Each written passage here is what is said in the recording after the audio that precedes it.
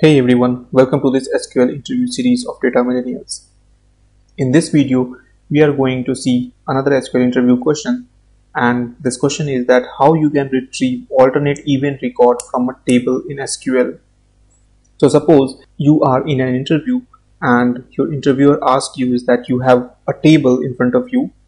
So for example, you have this employee table and this table contains employee ID and salary and the question is that you have to get the alternate rows with this alternate rows you have to make sure that the alternate records which you are extracting or which you are getting as a result set should be at an even row number.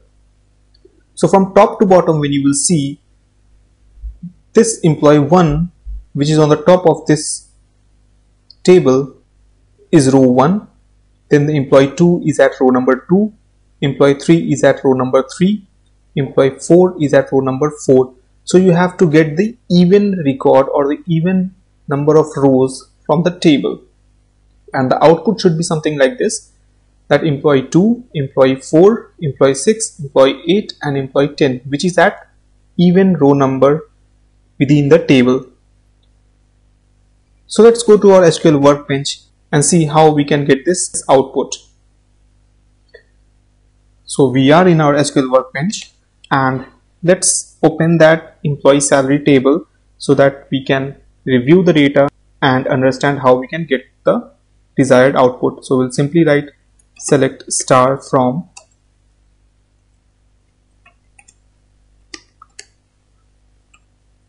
SQL interview is my database and then I'll write the table name.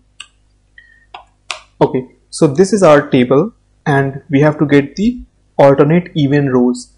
To get the alternate even rows, what you can do simply is that you can put a rank function or you can use the row number function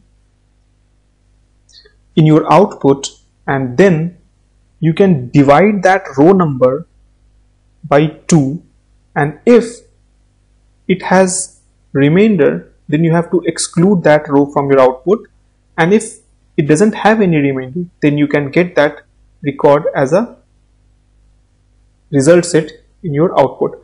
So let me show you what I'm talking about. So first of all what we'll do is that we'll simply use this row number function over here okay?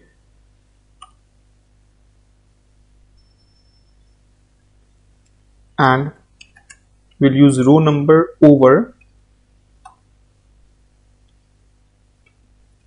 after this row number and over clause we have to give the order by clause and then we'll put employee ID let's put employee ID as descending or let's keep ascending okay as row sequence.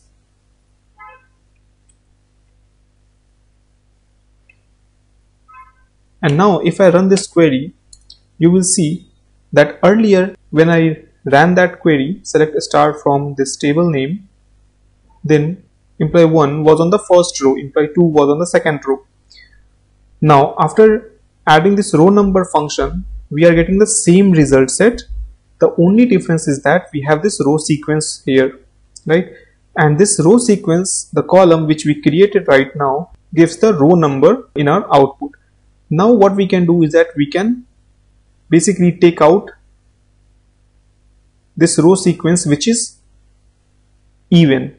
So I'm highlighting these row sequence which is even. So 2 4 6 8 and 10 now you might think is that how we can get this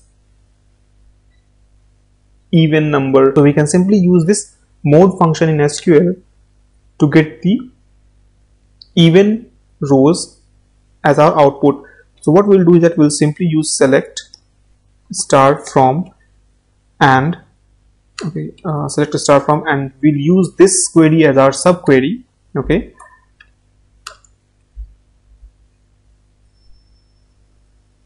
And we'll give it a name as let's put v okay?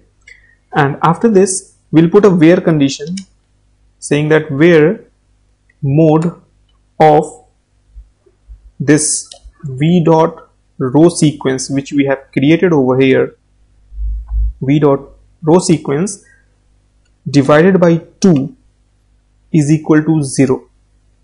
Now what this mod function does is that it gives you the remainder and if the remainder is 0 then only get the output or extract the output. So if there is an even number you will get your remainder 0 and if there is an odd number then you will have a remainder 1.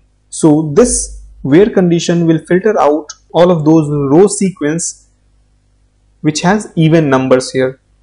So let's run this query. Now you can see that you have row sequence 2, 4, 6, 8 and 10.